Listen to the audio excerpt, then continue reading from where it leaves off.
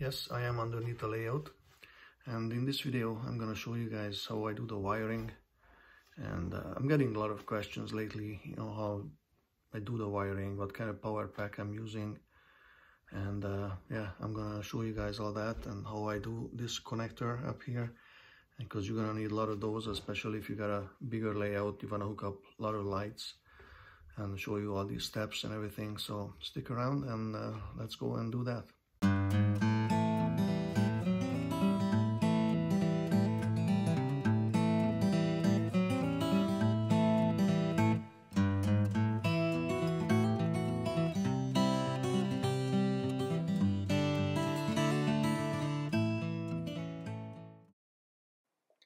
As you can see, I'm running those two wires of my power pack. I'm just using a glue gun to glue it to the 2x4, which is what I'm using from the framework. And you drill your necessary holes for the cables to go through. And I got those set of connectors. And then the cables continue. Another 4 or 5 feet later, I get another set of connectors. And then the two cables continue. And so on and so forth. So every five, six, seven feet as you need it. You feel like, okay, I'm gonna have a lot of lights in this area, put in a set of connectors. Here I just want to show you guys what I built, which came really useful for me to sit on it and this way you can just slide around underneath the layout and you know you can sit comfortably and reach for those connectors, those wires when you gotta glue those wires in place and screw them in place and all that. It, it was really useful and all it is is 2x4 and half inch plywood top and bottom and some caster wheels on the bottom. That's it. So these are those connectors that I bought off uh, eBay and I think I got a whole bag of them like 50 of them really cheap. And these are the wires I'm using 18 gauge wire. I'm using black and white but the color is really up to you. You can use any color you want. Then I take off the coating from each end and uh, yeah about 12 13 millimeter because once you put it together it's gonna be shorter anyway. So here I'm starting to uh, twist two black wires uh, together. And when you do that you're gonna make sure that you're actually twisting both wires at the same way or the same time.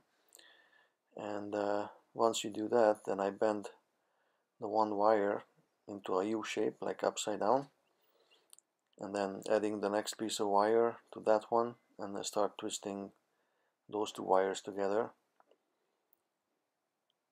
And basically this is what you would have to do all the way. So if you got a connector of 12 then you're gonna have to have 12 wires that need to be twisted together. And uh, I'm adding another piece of wire. This is the third wire. And then I'm gonna twist that one together and then I'm gonna show you guys in close up what it should look like. Something like this. So I'm just uh, adding more wires to it twisting more wires together till I get 12 of them. And uh, once done with both then this is what they should look like. And uh, I like to put a little bit of solder on those wires before I put it into the connector and tighten it with the screw. So I'm just putting a little bit of flex paste on it. And uh, I got my solder gun quite turned up like probably like 400 degrees. And uh, put actually quite a bit of solder on it. And this way just want to make sure that you know it's gonna stay together.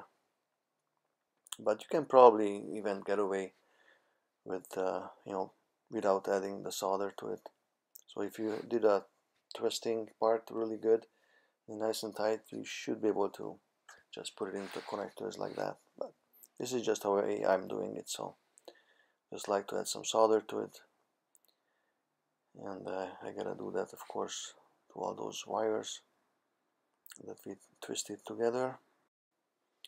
And here I'm putting some solder on the other wire on the white one and uh, this is what they look like with a little bit of solder on it. Close up if you can see this properly. That's all you need just a little bit of solder just to keep it together. And then I'm gonna insert it into those connectors. And first that little tiny screw that's in there you gotta undo it unscrew it and then just start putting in the first wire into the first hole and then tighten up the screw and you really want to get that nice and tight. And then loosen the next screw.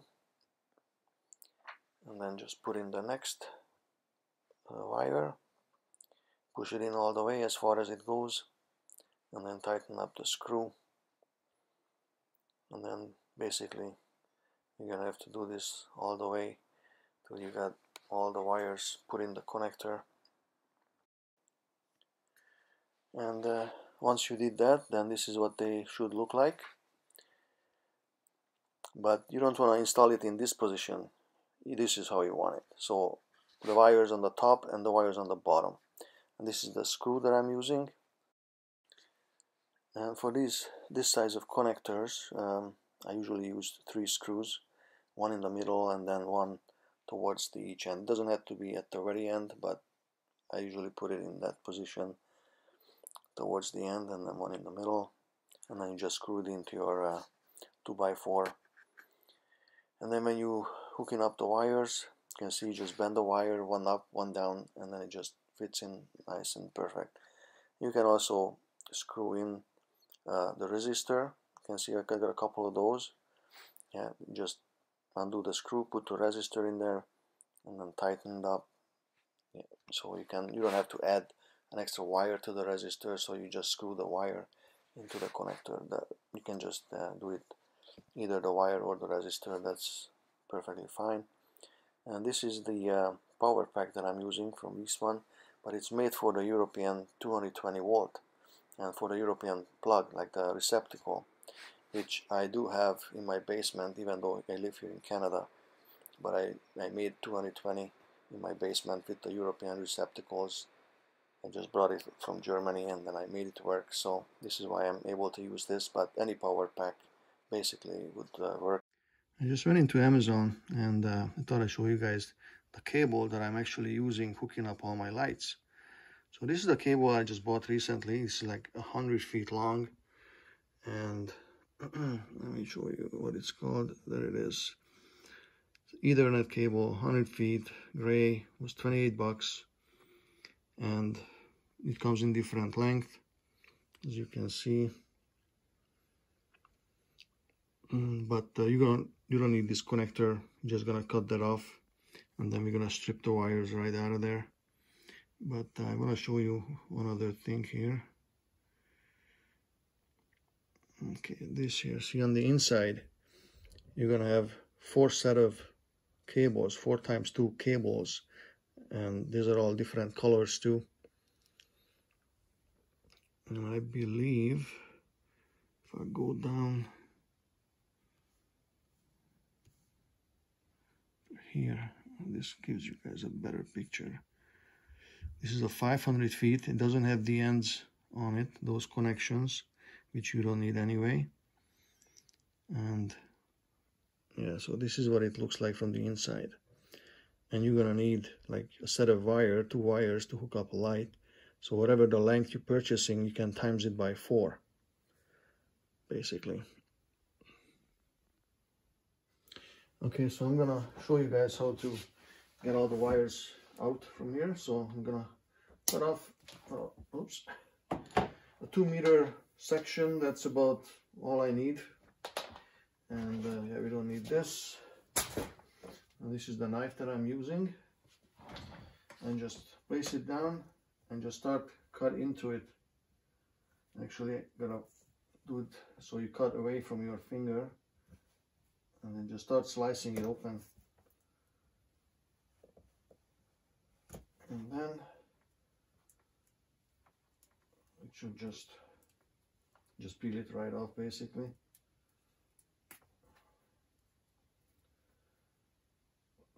and you can see we have those four set of wires inside they all different color. And then just hold this in place. Oh, you probably can't really see that. And then just cut right into it. And then once you did that just grab the wires and just pull on it. And then you gotta down cut it again.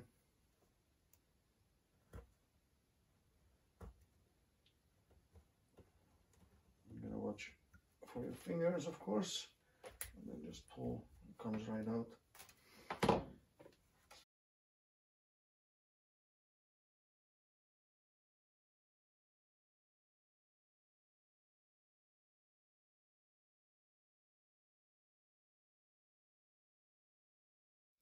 and here you have it.